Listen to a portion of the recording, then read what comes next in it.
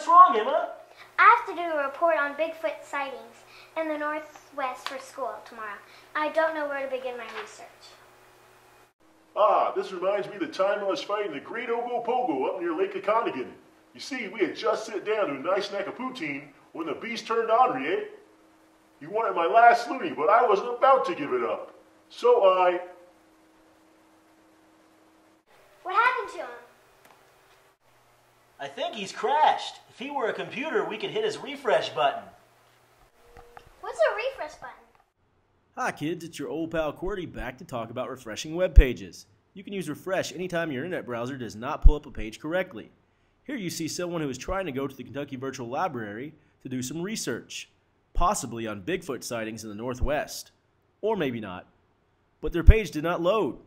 By clicking refresh, this time in Firefox, it sends a message to the internet server to try accessing that page again. And with some luck, there it is, the Kentucky Virtual Library. People use different browsers. Different browsers have different symbols for refresh, although most, if not all, will be located next to the address bar. Let's take a look at Internet Explorer now. This person is trying to access the Jefferson County Public Schools website for any reason but Bigfoot sightings in the Northwest. Again, their page will not load.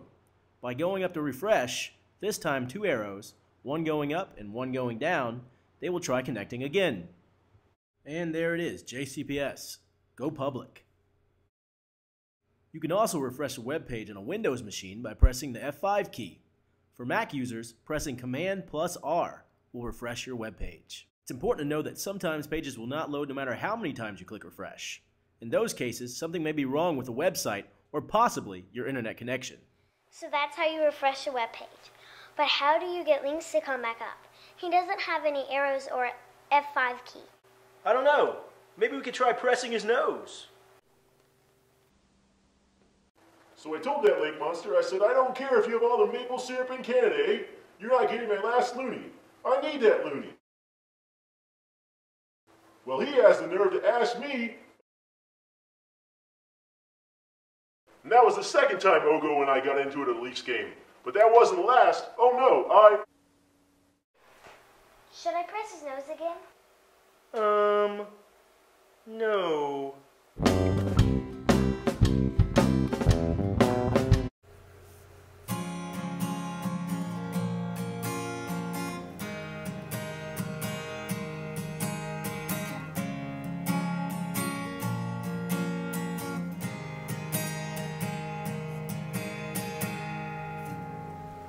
Lynx is from Canada.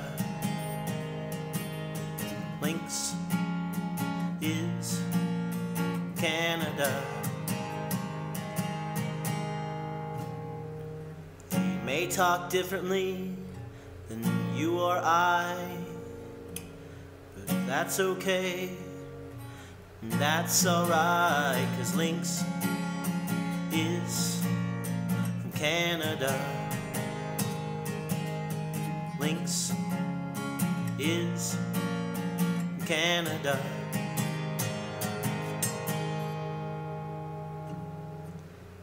He likes his hockey, his poutine too. While he's here, American fries will do, cause Lynx is Canada. Lynx is Canada.